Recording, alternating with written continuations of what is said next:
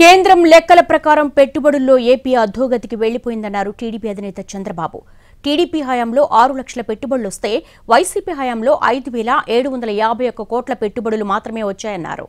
రాష్ట్రంలో పెట్టుబడులు పెట్టడానికి వ్యాపారవేత్తలు వెనకాడుతున్నారని ఇది ఎవరి పాపమని ప్రశ్నించారు చంద్రబాబు. అదాని డేటా సెంటర్కు తాము ఫౌండేషన్ ఇస్తే ఇప్పుడు సీఎం జగన్ మళ్ళీ శంకుస్థాపన చేశారని చెప్పారు. పంతొమ్మిది నుంచి ఇరవై రెండు వరకు అనౌన్స్ చేసిన పెట్టుబడులు ఒకసారి చూస్తే ఐదు వేల ఏడు వందల యాభై ఒక కోట్లు వచ్చాయి. ఐదు వేల ఏడు వందల యాభై ఒక కోట్ల రూపాయలు దేశంలో వచ్చిన దాంట్లో పాయింట్ ఫోర్ టూ.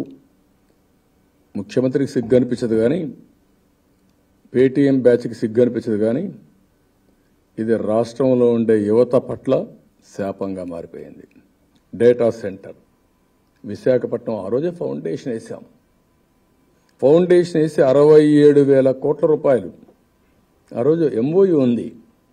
అది అయిన తర్వాత startup area development project Amaravati Singapore consortium యాభై వేల కోట్ల రూపాయలు పెట్టుబడులు.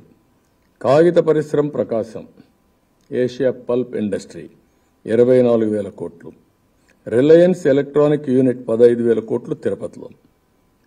అమర్ రాజా ఈ దెబ్బకు భయపడిపోయి తొమ్మిది వేల ఐదు వందల కోట్లు తెలంగాణలో బ్యాటరీస్ ఇవన్నీ మ్యానుఫ్యాక్చరింగ్ పోయారు. లూలు గ్రూప్ విశాఖపట్నం రెండు వేల రెండు వందల ఇరవై కోట్ల రూపాయలు అంతా రెడీ లాస్ట్ ఇన్నికి వెళ్ళిపోయే పరిస్థితికి వచ్చారు. ట్రైటాన్ బ్యాటరీస్ చిత్తూరు ఏడు వందల ఏడు కోట్లు.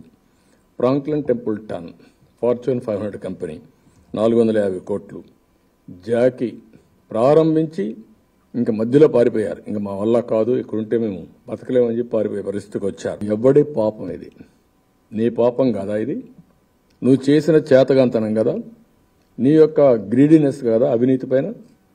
ప్రతి ఒక్కరిని బేరసారాలు చేసి బెదిరించి భయకొ భయపెట్టి పంపి